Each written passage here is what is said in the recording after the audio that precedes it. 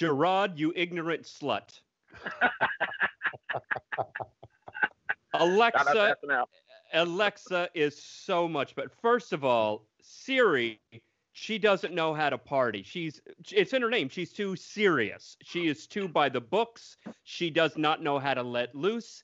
And Siri, you can program her to be a guy. You could program her to be. Siri doesn't know. Excuse me. Uh, yeah, Siri doesn't know what the hell she is. Alexa, she is a woman. She is fine. She is part. Alexa also has a shape. She is like she is. She she's hot. She's got that that funnel form where Siri's just coming out of your phone, and a phone could be. You just said Siri's bisexual, and she lost. You're so confused. No, no, no. Siri's not bisexual. Siri Siri is very she's confused. Siri is uh is a very That's what your parents would say about somebody's choices.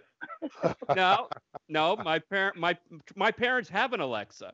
That's how I know how freaky Alexa is. My parents get down with Alexa. And when you have 70 something year old Jews getting down with somebody, you know they know how to party.